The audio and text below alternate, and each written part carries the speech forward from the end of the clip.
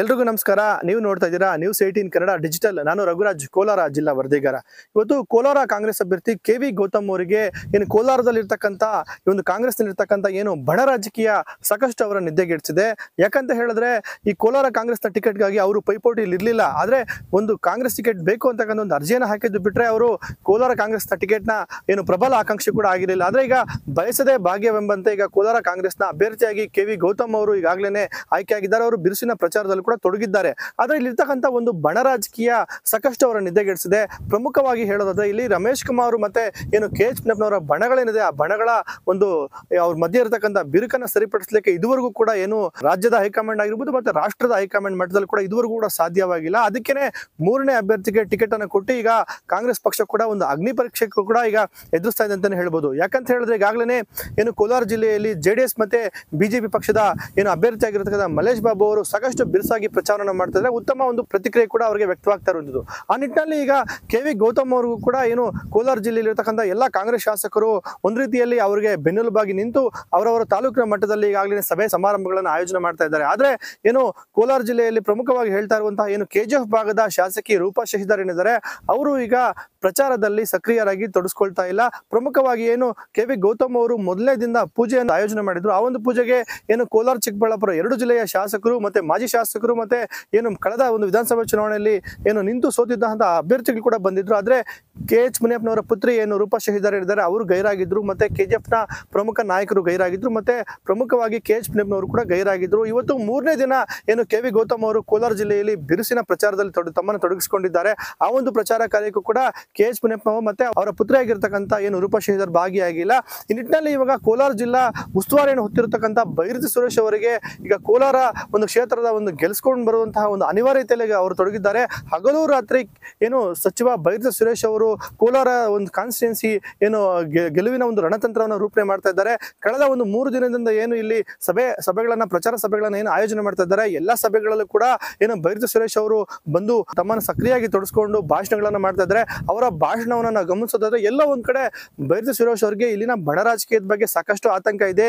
ಯಾರು ಕೆಲಸ ಮಾಡ್ತಾರೆ, ಯಾರು ಕೆಲಸ ಮಾಡಲ್ಲ ಅಂತಕ್ಕಂಥ ಒಂದು ನಿಟ್ಟಿನಲ್ಲಿ ಅವರು ಕೂಡ ಸಾಕಷ್ಟು ಲೆಕ್ಕಾಚಾರವನ್ನು ಕೂಡ ಹಾಕ್ತಾ ಇದ್ದಾರೆ. ಹಾಗಾಗಿನೇ ನಿರಂತರವಾಗಿ ಸಚಿವ ಬೈರತಿ ಸುರೇಶ್ ಅವರು ಏನು ಕೋಲಾರ ಏನು ಕಾಂಗ್ರೆಸ್ ಅಭ್ಯರ್ಥಿ ಕೆ ವಿ ಗೌತಮ್ ಪರವಾಗಿ ಪ್ರಚಾರಕ್ಕೆ ಬರ್ತಾ ಇರುವಂಥದ್ದು ಮತ್ತೆ ಇಲ್ಲಿ ಪ್ರಚಾರಕ್ಕೆ ಯಾವ ಥರ ಬೆಂಬಲ ವ್ಯಕ್ತವಾಗ್ತಾ ಇದೆ, ಯಾವೆಲ್ಲ ನಾಯಕರು ಬರ್ತಾ ಇದ್ದಾರೆ ಅಂತಕ್ಕಂಥ ನಿಟ್ಟಿನಲ್ಲಿ ಏನು ಸಾಕಷ್ಟು ಯೋಚನೆಯನ್ನು ಕೂಡ ಈಗ ಸಚಿವ ಬೈರತಿ ಸುರೇಶ್ ಅವರು ಮಾಡ್ತಾ ಇರುವಂಥದ್ದು.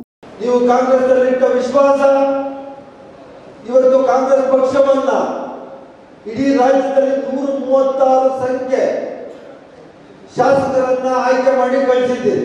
ಕಾಂಗ್ರೆಸ್ ಪಕ್ಷದಲ್ಲಿ ಹಲವಾರು ಜನ ಇಲ್ಲಿ ಉಮೇದುವಾರಿಕೆ ಸಲ್ಲಿಸಲು ಬಹಳಷ್ಟು ಜನ ಉತ್ಸುಕರಾಗಿದ್ರು. ಕಾಂಗ್ರೆಸ್ ಪಕ್ಷ ಎಐಸಿಸಿ ಆದೇಶದ ಮೇಲೆ ಗೌತಮ್ರನ್ನ ಇಲ್ಲಿ ಅಭ್ಯರ್ಥಿಯನ್ನಾಗಿ ಮಾಡಿ ಕಳಿಸಿದ್ದಾರೆ. ಬಹಳಷ್ಟು ಜನ ಪ್ರಯತ್ನ ಪಟ್ಟನು ಒಬ್ಬರಿಗೆ ಟಿಕೆಟ್ ಕೊಡೋಕ್ಕಾಗೋದು. ಮಾನ್ಯ ಮಾಜಿ ನಮ್ಮ ಲೋಕಸಭಾ ಸದಸ್ಯರು, ಮಾಜಿ ಕೇಂದ್ರ ಮಂತ್ರಿಗಳು, ಅಲ್ಲಿ ಆಹಾರ ಖಾತೆ ಸಚಿವರಾದ ಕೆ ಎಚ್ ಮುನಿಯಪ್ಪ ಸಹ ಅವರಿಗೆ ಆಶೀರ್ವಾದ ಮಾಡಿದ್ದಾರೆ. ಅವರ ಕುಟುಂಬಕ್ಕೆ ಮುಂಚೆ ಅವರು ಟಿಕೆಟ್ ಕೇಳಿದ್ರು. ಟಿಕೆಟ್ ಸಿಗದೇ ಇದ್ದಾಗ ಗೌತಮ್ ಸಹ ನಮ್ಮ ಹುಡುಗನೇ, ಅವರಿಗೂ ನೀವೆಲ್ಲ ಆಶೀರ್ವಾದ ಮಾಡಬೇಕು ಅಂತೇಳಿ ಈಗಾಗಲೇ ಪತ್ರಿಕೆಯ ಮುಖಾಂತರ ಟಿವಿ ಮಾಧ್ಯಮಗಳ ಮುಖಾಂತರ ಎಲ್ಲ ಕೋಲಾರ ಕ್ಷೇತ್ರದ ಜನಗಳಲ್ಲಿ ಅವರು ಮನವಿ ಮಾಡಿದ್ದಾರೆ. ಇವತ್ತು ಗೌತಮ್ಗೆ ಯಾವುದೇ ಅಡೆತಡೆ ಇಲ್ಲ. ಎಂಟು ಕ್ಷೇತ್ರಗಳಲ್ಲಿ, ಐದು ಕ್ಷೇತ್ರಗಳಲ್ಲಿ ನಮ್ಮ ಕಾಂಗ್ರೆಸ್ನ ಎಂ ಎಲ್ ಎಗಳಿದ್ದಾರೆ ಮೂರು ಕ್ಷೇತ್ರಗಳಲ್ಲಿ ಪರಾಜಿತ ಅಭ್ಯರ್ಥಿಗಳಿದ್ದಾರೆ. ಬಹಳ ಕಮ್ಮಿ ಅಂತರದಿಂದ ಸೋತವರು ಮೂರು ಜನ. ಆ ಮೂರು ಜನ ಸಹ ನಮ್ಮ ಎಂ ಎಲ್ ಎಗಳ ಅವರು ಕೆಲಸಗಳು ಮಾಡ್ತಾ ಇದ್ದಾರೆ. ಈ ಎಂಟು ಜನ ಸೇರಿ ನಿಮ್ ಜೊತೆ ನಾನು ಇದ್ದೀನಿ. ಕಾಂಗ್ರೆಸ್ ಇಡೀ ನಮ್ಮ ಕೋಲಾರದ ಕಾಂಗ್ರೆಸ್ ಪಕ್ಷ ಇದೆ. ಕಾಂಗ್ರೆಸ್ ಪಕ್ಷ ಇದೆ, ಅಖಿಲ ಭಾರತ ಕಾಂಗ್ರೆಸ್ ಪಕ್ಷ ಇದೆ. ನಮ್ಮ ನಿಮ್ಮೆಲ್ಲರ ನೆಚ್ಚಿನ ಮುಖ್ಯಮಂತ್ರಿಗಳಾದ ಸಿದ್ದರಾಮಯ್ಯನವರು, ಉಪಮುಖ್ಯಮಂತ್ರಿಗಳಾದ ಡಿ ಕೆ ಶಿವಕುಮಾರ್ ಅವರು ಸಹ ನಿಮ್ಮ ಜೊತೆ ನಿಂತ್ಕೊಂಡಿದ್ದಾರೆ. ಪ್ರಮುಖವಾಗಿ ಹೇಳೋದಾದ್ರೆ ಕೆ ಎಚ್ ಮುನಿಯಪ್ಪನವರು ಏನು ಅವರ ಬಣದ ನಾಯಕರು ಏನು ಏನು ಹೆಸರಿಗಷ್ಟೇ ಪ್ರಚಾರಕ್ಕೆ ಬರ್ತಾ ಇದ್ರು ಕೂಡ ಅವರೆಲ್ಲೂ ಕೂಡ ಮಾತನಾಡ್ತಾ ಇಲ್ಲ. ಕಾಂಗ್ರೆಸ್ನ ಜಿಲ್ಲಾಧ್ಯಕ್ಷರು ಸೇರಿದಂತೆ ಎಸ್ ಸಿ ಘಟದ ಜಿಲ್ಲಾ, ಜಿಲ್ಲಾಧ್ಯಕ್ಷ ಮತ್ತೆ ಜಿಲ್ಲಾ ಕಾರ್ಯಾಧ್ಯಕ್ಷ ಈ ಮೂರು ಜನ ಬರ್ತಾ ಇದ್ದಾರೆ ಬಿಟ್ರೆ ಅವರೆಲ್ಲೂ ಕೂಡ ಅಷ್ಟೊಂದು ಏನು ಕಾಂಗ್ರೆಸ್ನ ಒಂದು ಅಭ್ಯರ್ಥಿ ಪರವಾಗಿ ಸಕ್ರಿಯವಾಗಿ ತೊಡಸ್ಕೊಂಡಂತೆ ಎಲ್ಲರೂ ಕೂಡ ಕಂಡು ಬರ್ತಾ ಇಲ್ಲ. ಅಂದ್ರೆ ಉತ್ಸಾಹ ಕೂಡ ಕಂಡು ಬರ್ತಾ ಇಲ್ಲ ಅಂತ ಹೇಳ್ಬೋದು. ಜೊತೆಗೆ ಕೆ ಎಚ್ ಮುನಿಯಪ್ಪನವರು ಏನು ಕೋಲಾರ ಜಿಲ್ಲೆಗೆ ಏನು ಪ್ರಚಾರಕ್ಕೆ ಬರುವಂತ ನಿಟ್ಟಿನಲ್ಲಿ ಒಂದು ಕಂಡೀಷನ್ ಹಾಕಿದ್ದಾರೆ. ನಾನು ರಾಜ್ಯ ಪೂರ್ತಿ ಸುತ್ತಬೇಕು. ಜೊತೆಗೆ ನಾನು ಚಿಕ್ಕಬಳ್ಳಾಪುರದ ಜಿಲ್ಲೆ ಉಸ್ತುವಾರಿ ಕೂಡ ಆಗಿರೋದ್ರಿಂದ ನಾನು ಯಾವಾಗಲೂ ಕ- ಬರ್ಲಿಕ್ಕಾಗಲ್ಲ. ಆದ್ರೆ ನೀವು ಕರೆದಂತ ಸಮಯದಲ್ಲಿ ಬರ್ತೀನಿ ಅಂತಕ್ಕಂಥ ಒಂದು ಮಾತನ್ನು ಹೇಳಿರೋದ್ರಿಂದ ಇಲ್ಲಿ ಏನು ಅಭ್ಯರ್ಥಿ, ಏನು ಗೌತಮ್ ಅವರು ಕೂಡ ಸಾಕಷ್ಟು ಅವ್ರಿಗೂ ಕೂಡ ಒಂದು ಆತಂಕ ವ್ಯಕ್ತವಾಗಿರುವಂತದ್ದು ಆ ನಿಟ್ಟಿನಲ್ಲಿ ಈಗಾಗಲೇ ಅವರು ಕೆಜಿಎಫ್ನ ಶಾಸಕಿ ಆಗಿರ್ತಕ್ಕಂಥ ರೂಪಾ ಶಹೀದರ್ ಅವರನ್ನ ಅವರೇ ಹೋಗಿ ಖುದ್ದು ಕೆಜಿಎಫ್ನಲ್ಲಿ ಭೇಟಿ ಮಾಡಿ ಅವರಿಗೆ ಒಂದು ಮನವಿಯನ್ನ ಮಾಡಿದ್ದಾರೆ. ಯಾಕಂತ ಹೇಳಿದ್ರೆ ರಾಜ್ಯದಲ್ಲಿ ಏನು ಸಾಕಷ್ಟು ಗ್ಯಾರಂಟಿ ಯೋಜನೆಗಳು ಏನು ಈಗಾಗಲೇ ಅನುಷ್ಠಾನಕ್ಕೆ ತಗೊಂಡ್ಬಂದಿದ್ದಾರೆ ಆ ಅನು- ಅನುಷ್ಠಾನದ ಬಗ್ಗೆ ಹೆಣ್ಣು ಮಕ್ಕಳಿಗೆ ಸಾಕಷ್ಟು ಒಂದು ಪ್ರಚಾರವನ್ನು ಕೊಡಬೇಕಾಗಿರೋ ನಿಟ್ಟಿನಲ್ಲಿ ಒಬ್ಬ ಮಹಿಳಾ ಶಾಸಕಿ ಕೋಲಾರ ಜಿಲ್ಲೆಯಲ್ಲಿ ಇದ್ದಾರೆ ಹಾಗಾಗಿನೇ ಅವರನ್ನು ಕೂಡ ಒಂದು ಬಳಸ್ಕೊಳ್ಳೋ ನಿಟ್ಟಿನಲ್ಲಿ, ಅಂದ್ರೆ ಪ್ರಚಾರಕ್ಕೆ ಕರೆತರುವಂತ ನಿಟ್ಟಿನಲ್ಲಿ ಅವರು ಕೂಡ ಒಂದು ಮನವಿ ಮಾಡಿದ್ದು. ಆದ್ರೆ ಇದಕ್ಕೆ ಕೆ ಜಿ ಎಫ್ ಶಾಸಕಿ ರೂಪಾ ಶ್ರೀಧರ್ ಅವರು ಯಾವುದೇ ರೀತಿಯಾದಂತಹ ಒಂದು ಪ್ರತಿಕ್ರಿಯೆಯನ್ನು ಕೂಡ ಕೊಟ್ಟಿಲ್ಲ ಅಂತಕ್ಕಂಥ ಮಾತು ಕೇಳಿ ಬರ್ತಾ ಇದೆ. ಅಂತಂದ್ರೆ ಕೆಜಿಎಫ್ನ ಕಾನ್ಸ್ಟಿಟ್ಯೂಷನ್ ಮಾತ್ರ ನಾನು ಜವಾಬ್ದಾರಿ ಹೊತ್ಕೊಂಡು ಅಲ್ಲಿ ಪ್ರಚಾರವನ್ನು ಮಾಡ್ತೀನಿ. ಬೇರೆ ಕಡೆ ನಾನು ಪ್ರಚಾರಕ್ಕೆ ಬರೋಕ್ಕಾಗೋದಿಲ್ಲ ಅಂತಕ್ಕಂಥ ಮಾತನ್ನು ಹೇಳೋ ಮೂಲಕ ಒಂದು ರೀತಿಯಾಗಿ ಪರೋಕ್ಷವಾಗಿ ಒಂದು ಮುನಿಸನ್ನು ಕೂಡ ವ್ಯಕ್ತಪಡಿಸ್ತಾರೆ ಯಾಕಂತ ಹೇಳಿದ್ರೆ ಕೆಜಿಎಫ್ನ ಶಾಸಕಿ ರೂಪಾ ಶ್ರೀಧರ್ ಅವರ ಸಹೋದರಿ, ಅವರ ಪತಿ ಏನು ಚಿಕ್ಕಪದ್ದಣ್ಣ ಏನಿದ್ದಾರೆ ಅವರು ಕೋಲಾರ ಕಾಂಗ್ರೆಸ್ನ ಅಭ್ಯರ್ಥಿ ಆಗಬೇಕಾಗಿತ್ತು, ಬಹುತೇಕ ಅವರೇ ಅಭ್ಯರ್ಥಿ ಆಗಬೇಕಾಗಿತ್ತು ಅಂತ ಹೇಳಲಾಗ್ತಾ ಇತ್ತು. ಆದ್ರೆ ಕಡೆ ಕ್ಷಣದಲ್ಲಿ ಕೋಲಾರ ಜಿಲ್ಲೆಯ ಕಾಂಗ್ರೆಸ್ ಶಾಸಕರು, ಕೆಲ ಶಾಸಕರು ಏನು ರಾಜೀನಾಮೆ ಒಂದು ಪ್ರಹಸನವನ್ನ ಮುಂದೆ ತಗೊಂಡ್ಬಂದಿದ್ರಿಂದ ಅವರಿಗೆ ಟಿಕೆಟ್ ಕೈ ತಪ್ಪಿತು ಅಂತ ಹೇಳ್ತಾ ಇದ್ದಾರೆ. ಹಾಗಾಗಿನೇ ಕೆ ಎಚ್ ಪುನಿಯಪ್ಪ ಮತ್ತೆ ಪುತ್ರಿ ರೂಪ ಶಹೀದರು ಮತ್ತೆ ಅವರ ಬೆಂಬಲಿಗರು ಏನು ಪ್ರಚಾರ ಕಾರ್ಯದಲ್ಲಿ ತೊಡಸ್ಕೊಳ್ತಾ ಇಲ್ಲ. ಹೀಗಾಗಿನೇ ಕೋಲಾರ ಉಸ್ತುವಾರಿ ಜವಾಬ್ದಾರಿನ ಒತ್ತು ಒತ್ತಿರ್ತಕ್ಕಂಥ ಏನು ಸಚಿವ ಭೈರತಿ ಸುರೇಶ್ ಅವರಿಗೆ ಸಾಕಷ್ಟು ಈಗ ಆತಂಕ ಕಾಡ್ತಾ ಇದೆ. ಖಂಡಿತ ಕೊನೆಯವರೆಗೂ ಇದ್ದು ಚುನಾವಣೆ ನಡೆಸಬೇಕು. ಒಂದು ವೇಳೆ ಏನಾದರೂ ಹೆಚ್ಚು ಕಮ್ಮಿ ಆದರೆ ಮತ್ತೆ ನನ್ನ ಒಂದು ವರ್ಚಸ್ಸಿಗೆ ಧಕ್ಕೆ ತರುತ್ತೆ ಅನ್ನೋ ನಿಟ್ಟಿನಲ್ಲಿ ಈಗಾಗಲೇ ಈ ತರ ಒಂದು ಭಾವಿಸಿಕೊಂಡು ಈಗಾಗಲೇ ಸಚಿವ ಭೈರತಿ ಸುರೇಶ್ ಅವರು ಇನ್ನು ಮುಂದ, ಮುಂದಾಗಿ ಈಗ ಪ್ರಚಾರದಲ್ಲಿ ತೊಡಸ್ಕೊಂಡಿದ್ದಾರೆ. ಕೋಲಾರ ಲೋಕಸಭಾ ಕ್ಷೇತ್ರದಲ್ಲಿ ಇಲ್ಲಿ ಅಭ್ಯರ್ಥಿ ಗೆಲ್ಲಲೇಬೇಕು. ಕೆ ವಿ ಗೌತಮ್ರವ್ರನ್ನ ಅತ್ಯಧಿಕ ಮತಗಳ ಅಂತರದಿಂದ ಗೆಲ್ಲಿಸ್ಬೇಕು ಅಂತ ಹೇಳ್ಬಿಟ್ಟು ತುಂಬ ಚೆನ್ನಾಗಿ ಕೆಲಸ ಮಾಡ್ತಾ ಇದ್ದಾರೆ, ಒಗ್ಗಟ್ಟಾಗಿ ಕೆಲಸ ಮಾಡ್ತಾ ಇದ್ದಾರೆ. ಇದರಲ್ಲಿ ಏನು ಅನುಮಾನನೇ ಇಲ್ಲ. ಮೇಲಾಗಿ ನಮ್ಮ ಲೋಕಸಭಾ ಕ್ಷೇತ್ರದ ಎಂಟು ವಿಧಾನಸಭಾ ಕ್ಷೇತ್ರಗಳಲ್ಲಿ ಐದು ವಿಧಾನ ಕ್ಷೇತ್ರ ಕ್ಷೇತ್ರಗಳಲ್ಲಿ ಕಾಂಗ್ರೆಸ್ ಇದೆ. ಅದರಿಂದ ನಮಗೆ ಒಂದು ಬಲವಾದ ನಂಬಿಕೆ.